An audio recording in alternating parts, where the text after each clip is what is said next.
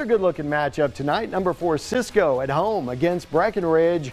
It's six to nothing for the Lobos in the second, but Breckenridge's Alex Home runs it in. That's going to tie the ball game up. Lobos are going to come back on this, going for a deep ball, but Breckenridge picks it off by Reese Peterson, who's going to gain some serious yards before he's finally brought down by the Lobos. Cisco interception turns the ball back over, and that play leads to Hunter Long getting loose in the secondary. He gets the ball down into uh, Breckenridge territory. Not long after that, Long gets it into the end zone. A connection to Cade Gale for the touchdown. Another Lobo touchdown. 12-6 Lobos at the half.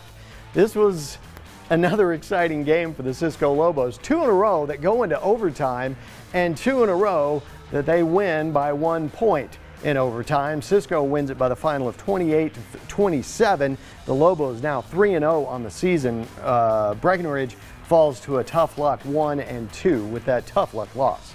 Last minute schedule change for Winters. The uh, Blizzards taking on the Crane Cranes.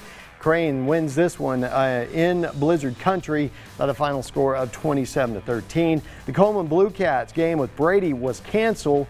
Brady had too many COVID-19 cases on the team to play that game.